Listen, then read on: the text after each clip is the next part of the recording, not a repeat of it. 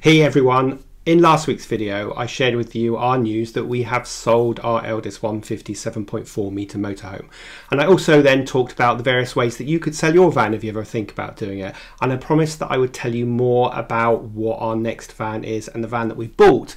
So in today's video I want to tell you more about the 6.4 metre camper van that we have ordered and why we picked this particular model. Hi, we're James and Rob and this is our dog Oscar. It's a really steep learning curve when you start your motorhome, campervan or caravan journey and there is lots that we wish we had known. So we decided to document what we have learned and share with you our adventures as we head out on the road again. Last year we did a two week trip driving around the Highlands of Scotland in our Elddis 150 and I'll put a link whichever side it is to that video and it taught us two things. Firstly, that it's pretty hairy driving around some of the narrow country roads, especially when you're driving the length of Loch Lomond. Now, I know some of you probably think we're being wimps about this. Our video that we showed driving around Loch Lomond certainly got loads of comments either agreeing with us or telling us that it was absolutely nothing. And maybe you are super confident in driving on those narrow, windy roads, whether that be in Scotland or Cornwall. And of course, everyone is different, but we didn't particularly enjoy it. In fact, James absolutely refused to drive that portion at all. And I must admit, a couple of times I closed my eyes and just hoped. Now, it turns out it's not really the length of the van that's issue but more of the width of the van that is a challenge when it comes to driving around narrow roads. Now, the second thing that we learned was that we like to be able to use our van as a car, as a, as a second vehicle, when we go on site and we want to go and explore the local area. Now, we've got electric bikes and we use them, and of course, we can walk and we also can take public transport, which we did all of those things, but it will only get you so far and we like the ease of using our van, especially now that we've got an elderly dog. Now, it's well documented that Scotland is much more accommodating uh, to this than England. In fact, many of the little towns that we visited had car parks with a few reserved motorhome bays and no height restrictions. But as you know, sadly, that isn't the case in England, especially for a 7.4 metre high van. So all of this thinking led us to decide at the back end of last year that we would sell our motorhome, even though we only bought it at the beginning of 2021, and we replace it with a shorter, narrower camper van. Now, in the last video, I explained how, how that happened. I explained that we waited till I got back from South Africa in February and then put the van on the market and sold it really quickly. So I'm not going to talk about that, but what I do want to talk about is moving the story forward and talking about our new purchase. Now we wanted a fixed bed with a mattress rather than sofas that convert into beds, both from a convenience perspective, but also from a comfort perspective because I'm a really poor sleeper. So having a comfortable mattress was super important for me.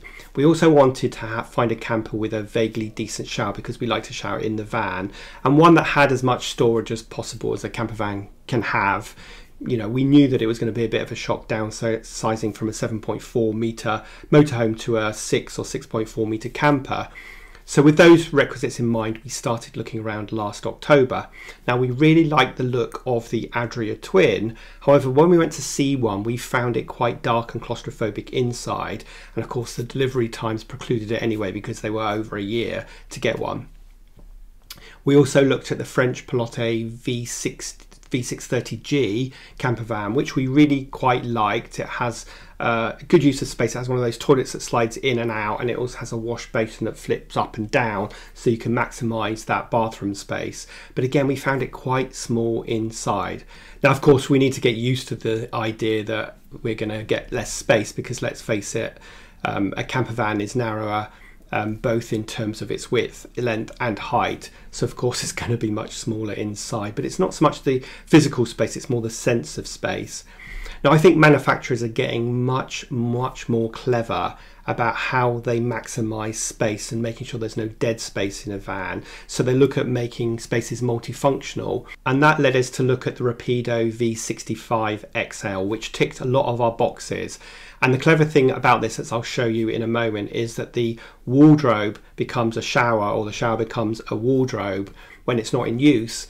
And it has the shower on one side of the van and a toilet on the other side. So you can kind of close this area off completely to create like a bathroom area. So it becomes one room and it's actually really spacious as bathrooms go, especially in a camper van. It also has a second drop down double bed at the front of the van, meaning that you could potentially sleep four people in the van pretty comfortably, which I think is really unheard of in this type of camper van. In fact, in our Elddis 150, there, it was a four berth but the second bed was made up from you know turning the sofas over at the front and that didn't even make a kind of rectangular double bed because of the shape of the cushions. So in fact the camper van that we're buying would sleep four people more comfortably albeit in a much more compact space. And to be honest how that will work practically when you're getting up in the morning and you want to use the bathroom and you're getting in each other's way i'm not entirely sure. But the option was there and we do like to go away with friends now, I've got to talk about delivery because, of course, delivery times were an issue. But we ended up talking to a dealership that didn't actually have a Rapido, but they had a Dreamer Camper Van XL, which is basically the same van by the same company under a different brand, with a few minor differences, which I'll show you in a moment. So we ended up paying uh, the deposit on the Dreamer Camper Van XL in October 2021 for delivery in April 2022.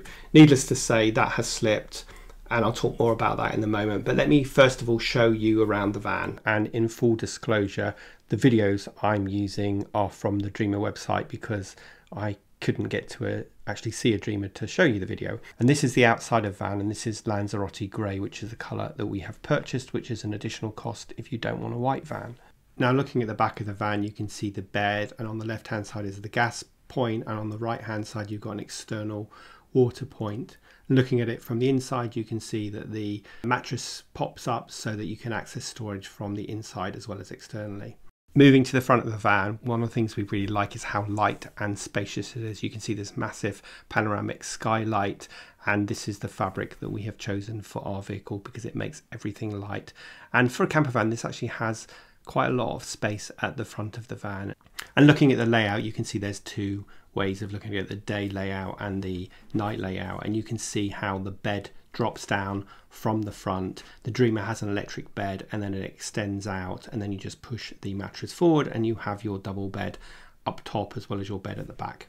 Now another thing that we really like is the multi use of space. So you can see here you we have a large wardrobe which is really uncommon in a camper so there's lots of room to put your clothes and then when you want to have a shower you simply close that and you open the next catch pull the whole wardrobe out which slides over the top of the bed and you have got your shower so this is a really smart use of space and actually you can completely compartmentalize the bathroom area off using that wardrobe door plus the one that I'll show you in a moment. So you can access the wardrobe from the back as well. And here is what is really a fairly large self-contained shower. So it's not a wet room like you get in so many motorhomes and camper vans, but a standalone shower.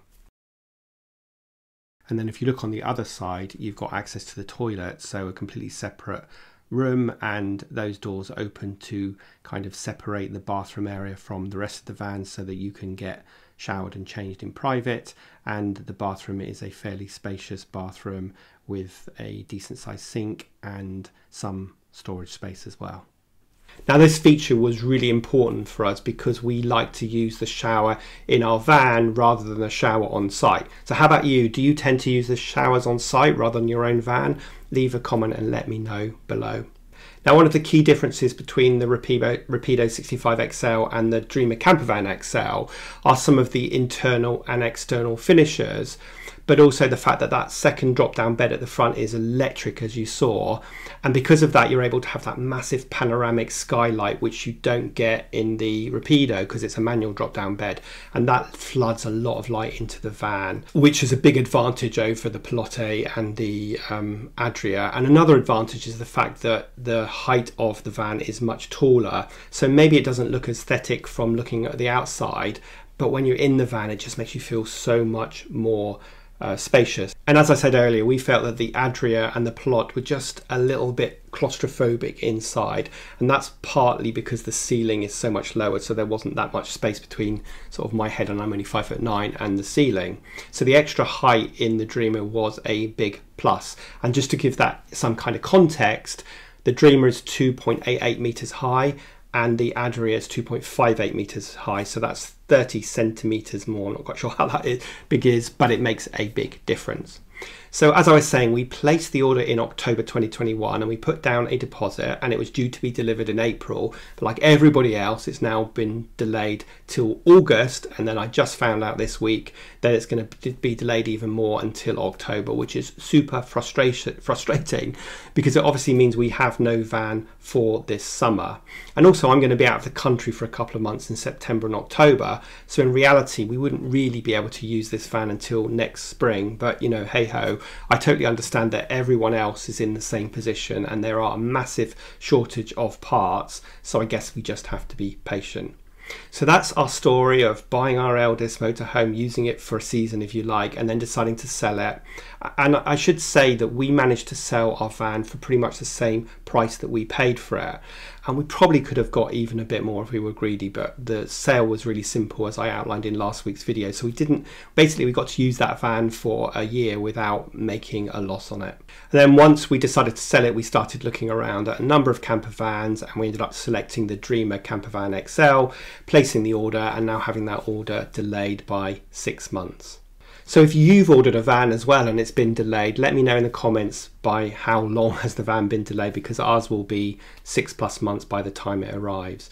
Now in terms of future video content, whilst we don't have a van, we have some past content to publish including a weekend away in Oxford and we are also going to be doing a number of camper, camper van and motorhome reviews as well as some interviews with really interesting people. So please stick around with us and I'm sure you're going to find the content useful. Talking of which, I hope you found today's video insightful and I'm glad that you are sticking with us and coming along this on this journey with us. And as ever, please make sure you've hit the subscribe button and make sure you have smashed the bell so that you're alerted when a new video goes live every week.